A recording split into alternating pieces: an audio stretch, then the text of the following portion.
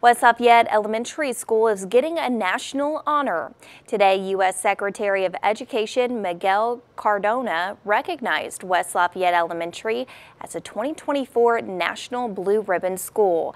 That means the school is excelling in helping students of all different backgrounds and abilities reach their academic goals. Superintendent Dr. Sean Greiner says the achievement is a testament to the hard work and collaborative efforts of dedicated students, teachers, families, and community.